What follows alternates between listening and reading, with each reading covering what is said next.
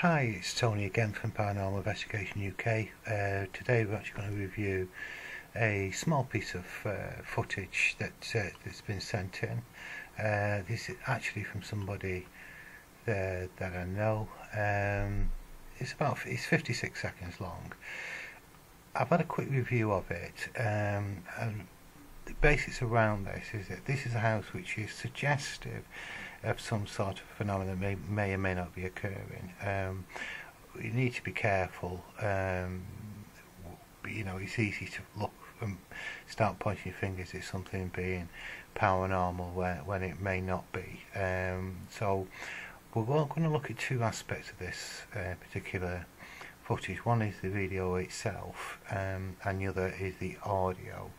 So, firstly, what we're going to do, we're not going to take much notice of the actual uh, audio for the moment. Uh, we'll look at the actual video first, if there's anything there, uh, and then we'll come back to the audio separately. Um, I've got an EQ lined up here, mainly because I'm going to use it to increase the volume. Um, the It's been done on a mobile phone, um, so it may we may need to lift the volume up, and if necessary, we do find anything it's within the audio, any anomaly, then we can uh, start to EQ that and enhance it if we need to. Uh, straightforward uh, spectrum analyzer on the right hand side. Um, so let's get straight into this one, see what we can find. The situation is with this, it's um, I think it's a living room area.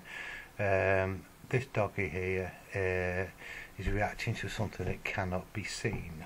So the great mystery with dogs, people often wrongly believe that animals, dogs in particular, can see things that we can't. That's in fact not true. Um, I've always believed cats and dogs are able to hear things that we can't because the human can listen to between 20 and 20,000 hertz. Uh, some breeds of dogs can go up to 60,000 hertz. It all hinges on the age of the, the dog uh, as you get older, even the human. Um, as you get older, the frequency begins to diminish. So, if you've got, for example, a, a sound within 30 to 40,000 hertz, a human simply cannot hear it, irrespective of how loud that is.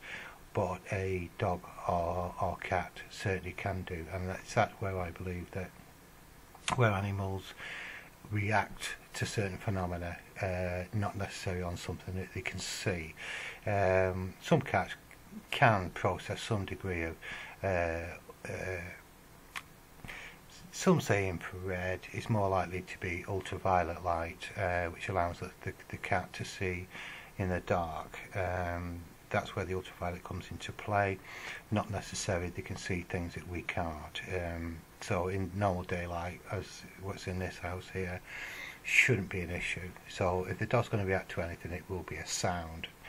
Um, we are able to record and analyse any frequency that we cannot hear anyway. Uh, we, we, might not be able to hear it, but we'll be able to see it.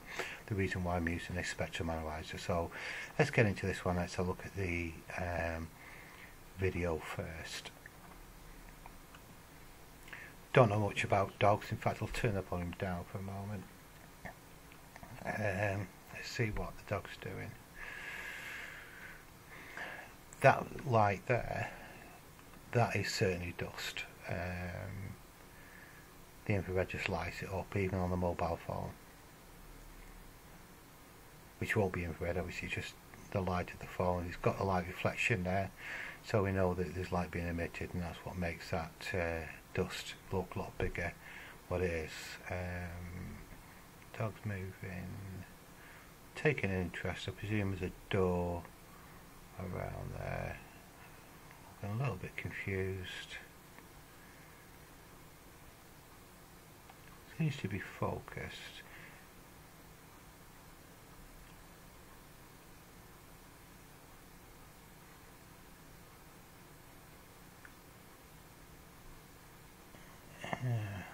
okay. Um,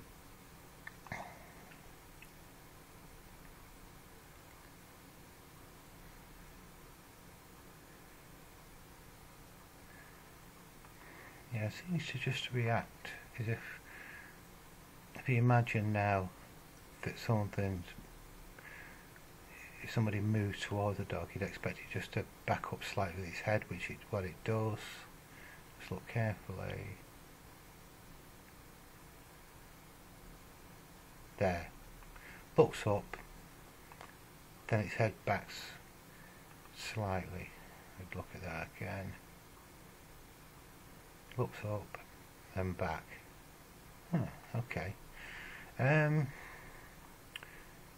right, let's let's go back to it. Um, and we'll, we'll, I'm going to actually turn the the volume up here. I'll keep it normal. Let's see what the dog. So I couldn't see anything up to the point of the end. So that's where well, let's focus on that part there.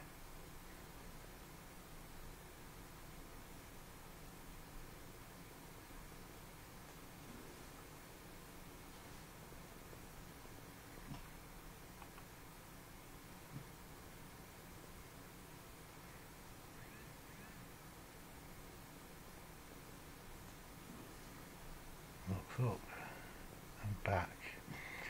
I think there's some light movement. Difficult to tell.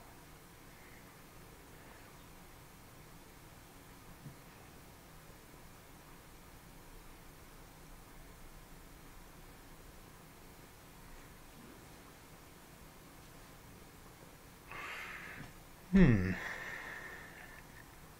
Okay. Um, I am able to slow that down and uh, do something with the light at the same time. Uh, but that appears to just react to something towards the end, which is interesting. So, right, okay, I've uh, got shut of the video now and we're going to concentrate on the audio. The reason why I separate the two is that if you've got sound going on and watching the video at the same time, uh, you're sort of splitting your uh, your mind with that. So just by looking at the, reviewing the video on its entirety uh, with no sound, you're concentrating on the video.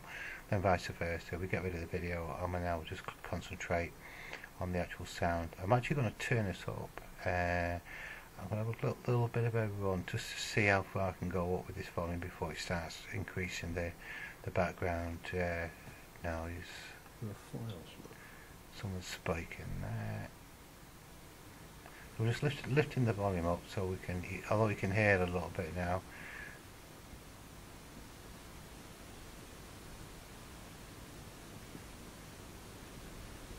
Actually, that's not too bad.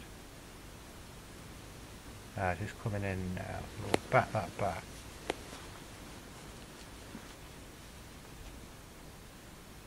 Okay. Uh, go back to the beginning again. The files look.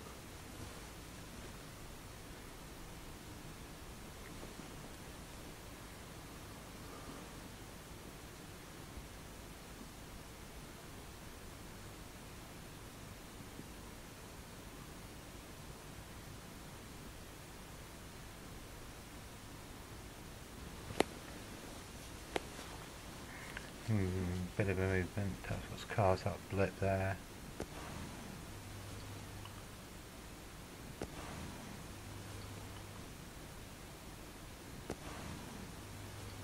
Not sure about that. Hmm. I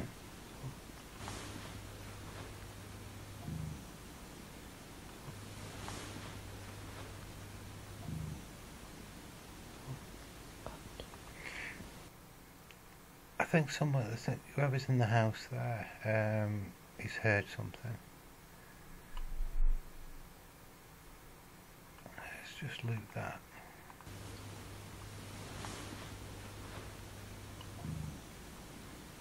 I wonder if that's a dog. It's just, uh,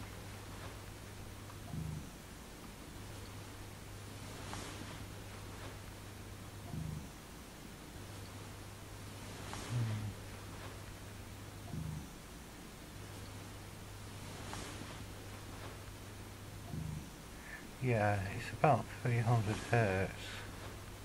It's an unusual frequency.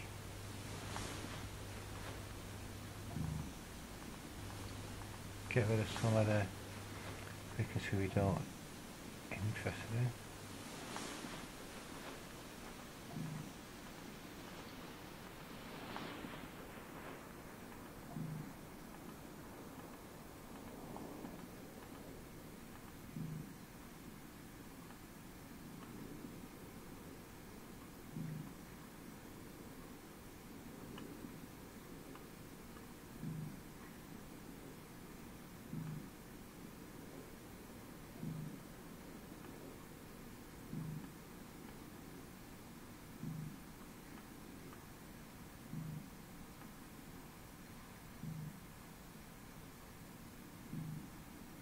Yeah.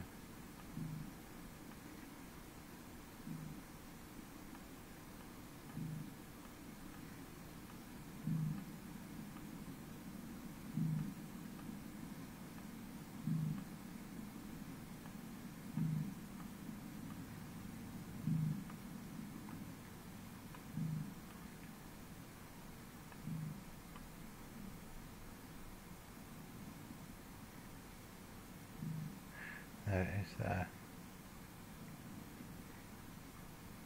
I'll just drop the volume down a little bit so we can see that frequency. Um,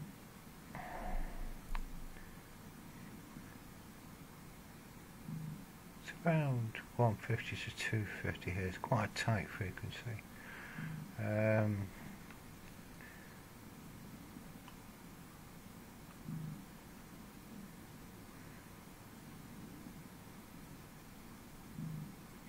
Not sure.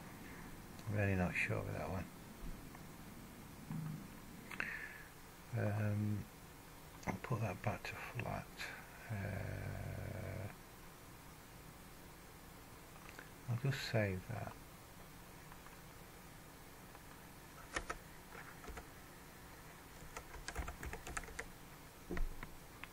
Okay. Gonna back up and just listen to the rest of it again.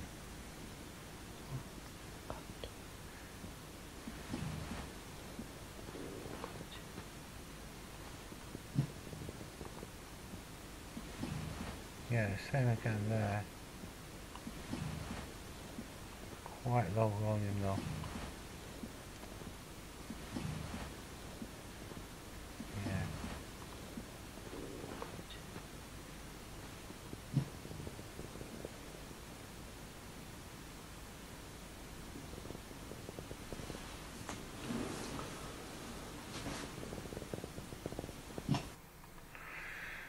Yeah. Interesting. Okay, I'll. Um, I'm not sure. It's possible that the dog itself made a, a growl, but it's, it's it's not a dog frequency.